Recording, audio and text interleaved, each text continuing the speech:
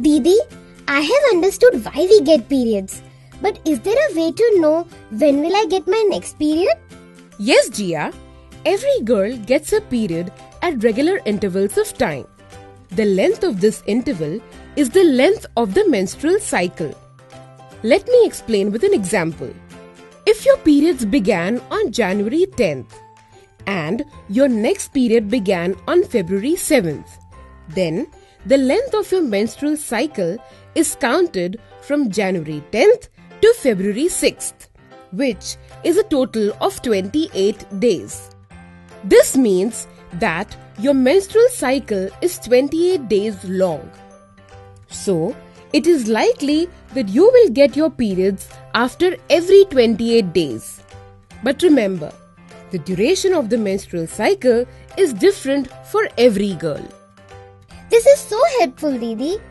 This way I can calculate when I'll get my next period. Now I can stay prepared for my next periods. Yes, Jia, but remember, you have just started getting your periods. Your body will take some time to adjust to these new changes. So, for the first one or two years, your periods might be irregular.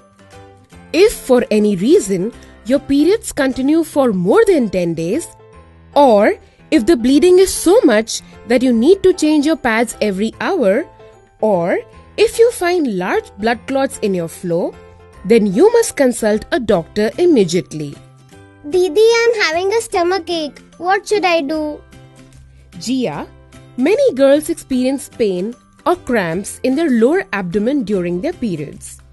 The uterus contracts to shed and squeeze the menstrual fluid out of the vagina, which might be slightly painful for some girls. It is completely normal and there is no need to panic. Due to the changes that happen in the body during periods, some girls might also get pimples on their face. They might suffer from headaches or have mood swings.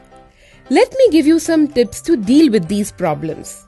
Every day, go for a brisk walk for at least 30 minutes. Get your body into child pose, butterfly pose, and cobra pose, and hold each of these yoga poses for 5 deep breaths. To relieve yourself from stomach cramps, apply a warm water bag to the lower abdomen. Drink lots of water and get plenty of sleep. During the years of menstruation, your body's requirement for iron increases. So, by consuming food rich in iron and vitamin C, you will have much relief from the discomforts of periods. Will we get periods throughout our lives? No, Meera. Periods typically stop between the ages of 45 to 55 years. This is called menopause. So, does this mean even our mothers get periods? Yes, Pinky.